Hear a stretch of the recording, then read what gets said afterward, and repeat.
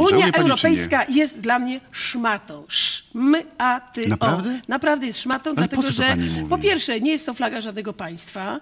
Y, Po drugie ym, symbolizuje, dla mnie akurat symbolizuje, ja się zajmuję sprawami Unii Europejskiej, symbolizuje twór, który przejmuje kompetencje, żyje z kompetencji państw narodowych i jego celem jest likwidacja państw narodowych i suwerenności Polski, między innymi państwa członkowskiego.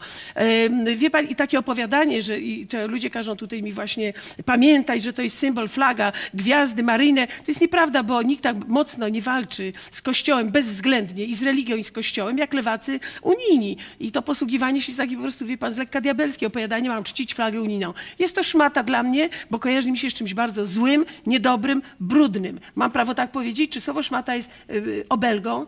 Czy Tak. słowo sz... jest? Jest. No to, no to się różnimy.